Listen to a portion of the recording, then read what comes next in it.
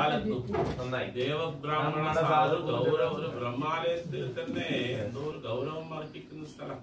ജീവാംശേ ജീവസംയുക്തേ ജീവദ്രേക്കാൻ സംയുരേ ജീവദൃഷ്ടിയുടേവാപി വിപ്രഭൂമിം വിനിർദ്ദേശേത്. ഇതിൽ വൃക്ഷകായ ഫലം കിഞ്ചിരുന്നാണ് അപ്പൊ എന്താണ്? ദൈവാനുഗ്രഹം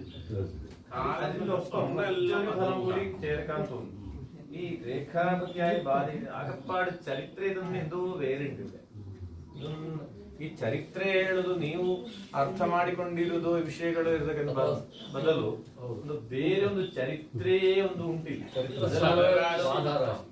ശരരാശിയും ഈ കർമാവിന്റെ ആ ക്ഷേത്രത്തിൽ നിൽക്കുമ്പോൾ ഒരു ഒരു ദൂരദിക്കുന്ന വന്ന ഒരു ചരിത്രം അത് കർമാവൻ വ്യാഴക്ഷേത്രത്തിൽ നിൽക്കുമ്പോൾ ഒരു ഒമ്പതാം ഭാവത്തിൽ സൂര്യനും ഒരു